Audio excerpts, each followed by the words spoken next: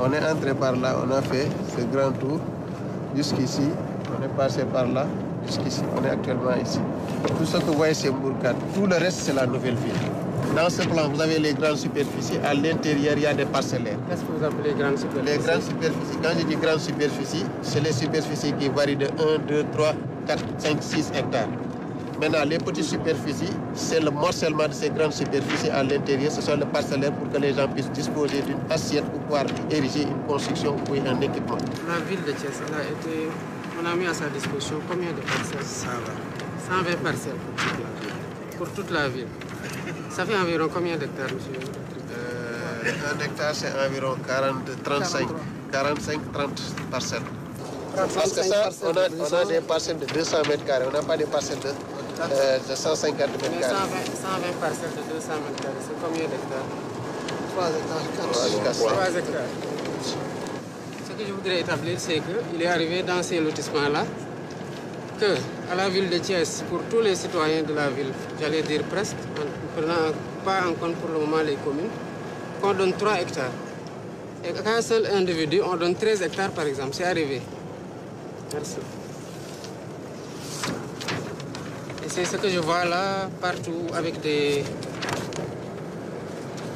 des 30 hectares par-ci, des 9 hectares par là, des 37 hectares. 73 ici même. Donc, là, des 5 hectares. Parfois à des citoyens aussi. 20 hectares. La même personne. 16 hectares, 18 hectares, 40 parcelles pour une seule personne. On ne peut pas laisser passer ça.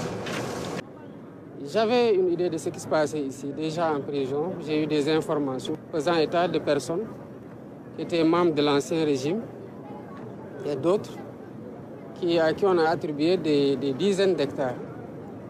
Et au même moment, j'avais entendu le maire de la ville de Thiès dire qu'on lui a donné que 120 euh, parcelles de 200 mètres carrés qu'il devait distribuer à ses citoyens, concitoyens.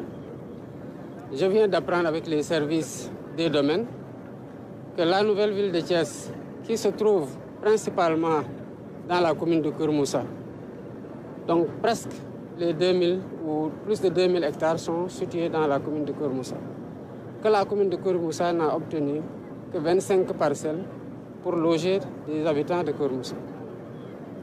Vous avez vu avec les services qu'il y a des gens, des politiciens, à qui on a donné, des hommes d'affaires, à qui on a donné 100 hectares, 30 hectares, 13 hectares, 50 hectares, et même pour l'un d'entre eux, on parle de 200 à 300 hectares. Quand l'alternance est arrivée, le 24 mars 2024, certains de ceux qui étaient attribués se sont empressés pour, par arrêter, pour demander par arrêté ministériel d'obtenir un titre foncier pour soi-disant sécuriser un droit foncier qu'ils savent qu'il est irrégulièrement acquis. D'un autre côté, il y a parmi eux qui ont commencé, parce qu'ils ont obtenu aussi un morcellement des hectares qui leur sont attribués, qui ont commencé à vendre. Et cela ne s'est pas passé seulement au niveau de Thiès.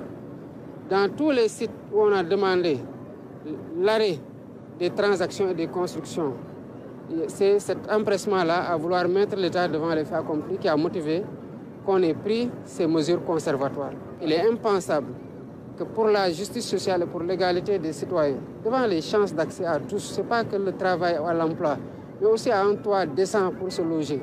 Comment un citoyen qui est soi, qui n'est pas mieux que les autres, qui n'a rien fait d'exceptionnel, peut se faire octroyer 13 hectares pendant que la ville n'a que 3 hectares? Et que cette personne-là se sente à l'aise à se réveiller à regarder ses concitoyens soient et souvent même à leur demander son suffrage pour présider au destiné de cette ville-là. Ça, on l'a répertorié dans énormément de localités et croyez-moi, ça, ça ne passera pas.